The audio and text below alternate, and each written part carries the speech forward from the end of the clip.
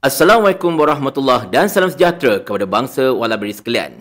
Kok ia pun hendak menaikkan imej Datuk Seri Anwar Ibrahim dan juga hendak merendahkan imej Tan Sri Budi Yassin pun, tolong jangan tipu fakta. Tolong jangan tipu data. Tak baik pakai macam tu tahu tak? Kita intro dulu. La la la la la la la la. Ceritanya macam ni, tuan-tuan dan puan-puan sekalian. Kita semua tahu pada ketika ini, ringgit sedang mengukuh berbanding dengan US dollar. Dan ketika video ini setengah dirakamkan, ringgit sekarang ini berada pada kedudukan RM4.36 berbanding 1 US dollar. Di mana ini merupakan antara kadar yang terbaik dalam tempoh 16 bulan dan kedua terbaik dalam tempoh kerajaan perpaduan madani ini mentadbir negara kita ini. Tetapi kita juga mesti ingat, Ringgit pernah jatuh pada kadar yang sangat-sangat teruk, yang terteruk dalam sejarah iaitu RM4.89 pada pemerintahan Madani juga iaitu ketika bulan Oktober macam tu lebih kurang. Dan secara asasnya, ringgit baru mengukuh pada ketika ini selepas sekian lama berbulan-bulan tersangkut dekat RM4.70 tak bergerak-gerak. Dan antara faktornya ialah pihak Amerika Syarikat ataupun Reserve Amerika Syarikat tengah menurunkan kadar faedah mereka disebabkan oleh ketidaktentuan estasi mata wang US dollar. Dan of course lah, pemilihan presiden pada ketika ini dekat sana pun tidak membantu serta kejatuhan pasaran saham dekat sana. Tetapi bukan itu saya nak ceritakan di sini tuan-tuan dan sekalian. Dan sementara waktu ringgit tengah mengukuh ini, kita nikmati je lah. Tetapi dalam masa sama juga, kita haraplah. Macam contoh harga diesel kan, murahkan lagi. Kita dah kira semalam kan, sepatutnya harga diesel RM2.90. Tetapi dia bantai turunkan 2 sen sahaja. 33 sen rakyat Malaysia terpaksa subsidi pada kerajaan.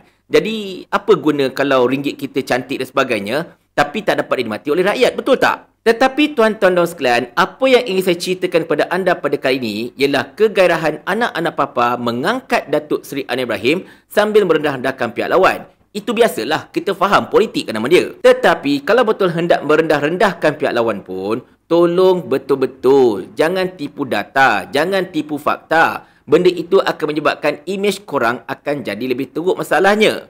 Apa maksud saya?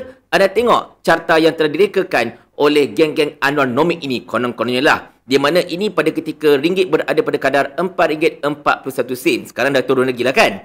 Jadinya, dia nak nobatkan di sini betapa Datuk Seri Anwar Ibrahim sepanjang pentadbiran beliau kan telah mencatatkan nilai ringgit yang terbaik dalam sejarah dan sebagainya, gedebuk-gedebak dan macam-macam lagi. So dibandingkanlah zaman Mahathir uh, RM4.54 sen, zaman Najib RM4.49 sen, zaman Abu Tu Ismail Sabri RM4.65 sen dan juga zaman Muhyiddin RM4.74 sen. Oh macam tu sekali tuan-tuan dan sekalian. Tetapi perbandingan ini nombor satunya tak betul. Sebab mereka bandingkan yang terbaik zaman Anwar menentang yang terburuk pada zaman-zaman lain. Kalau cerita tentang terbaik, kena menentang yang terbaik. Contoh zaman Mahathir. Yang terbaiknya pada kadar RM4 macam tu lebih kurang. Kurang dari RM4 kalau ikutkan. Kalau zaman Najib, jangan cerita lah. Zaman Najib tinggi ke 8 pun pernah. Tinggi ke 7 pun pernah masalahnya. Tetapi yang lebih patut kita bandingkan contohnya dengan zaman Muhyiddin Yassin serta Ismail Sabri.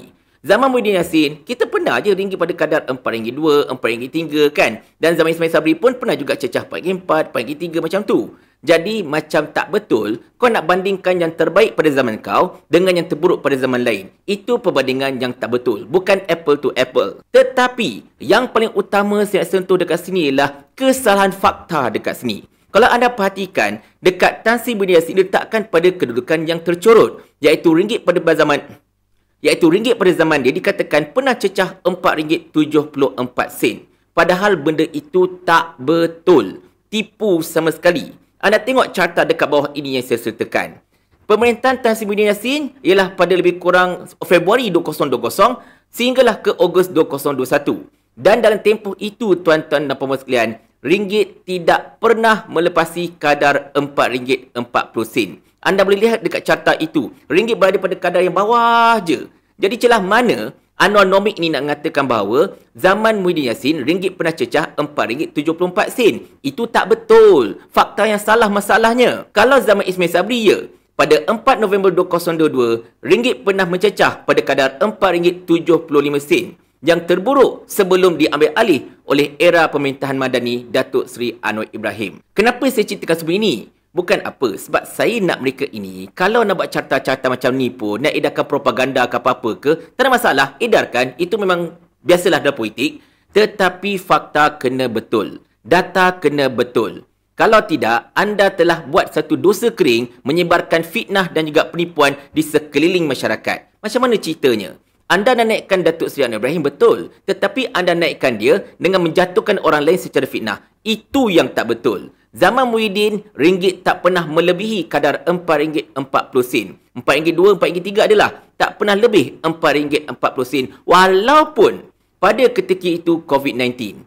Dan sekadar untuk trivia, pada ketika itu, dolar Amerika juga berada pada kedudukan yang agak lemah. Jadi, oleh kerana itulah tuan-tuan dan sekalian, pihak Reserve Amerika Syarikat bertindak menaikkan kadar OPR secara mendadak. OPR sanalah, faedah dekat Amerika Syarikat dinaikkan secara mendadak sampai meningkat hingga ke 50 mata dan macam-macam lagi. Sekali rop, naik banyak. Jadi, itu menyebabkan pemerintahan zaman Ismail Sabri terpaksa menaikkan kadar OPR negara kita sebanyak 4 kali daripada 1.75% yang dibuat zaman Muhyiddin sehinggalah ke kadar 2.75% pada akhir pentadbiran beliau sebelum dinaikkan ke kadar 3% oleh Datuk Seri Anwar Ibrahim pada Julai 2023. Jadi tuan-tuan dan sekalian, macam saya katakan tadi, nak edarkan propaganda tak ada masalah. Tetapi fakta kena betul, data kena betul. Anda kena jujur dengan masyarakat. Tolong beritahu, zaman Muhyiddin Yassin, ringgit tak pernah melebihi RM4.40. Tapi sekarang ini anda tulis konon-kononnya ringgit zaman Muhyiddin mencecah RM4.74. Ini adalah penipuan yang sangat-sangat terang dan nyata. Dan kalau inilah level anak-anak papa punya propaganda, secara terus terang, memang patutlah kerajaan ini digelarkan sebagai kerajaan yang paling haprak dalam sejarah negara kita ini. Sebab apa? Sebab mereka pun mentadbir dengan orang kata apa, licik sana licik sini dan juga mereka nak menyebarkan propaganda hendak menaikkan pemimpin mereka, kerajaan mereka dengan penipuan serta fitnah. Tetapi biasalah tuan-tuan dan sekalian, ini kan kerajaan mereka. Mereka rasa mereka boleh buat apa sahaja termasuklah menyebarkan benda-benda yang tak betul dengan harapan orang akan terlepas pandang dengan harapan pihak-pihak seperti saya akan terlepas pandang. Tetapi sorry lah bang, sorry banyak-banyak. Saya akan tetap menegur benda yang tak betul dan of course Tani Hamzan, walaupun kau cakap macam ni, aku tetap berada kat sini. I'm not going anywhere. Kerajaan ni kerajaan kami. Jadi ikut suka kami lah. Paling kurang aku ada formula. Ni kau ada menteri berlambak-lambak ni satu formula pun tak ada. Otak letak dekat mana? Saya ulah. Sampai Abang Jamil mampus.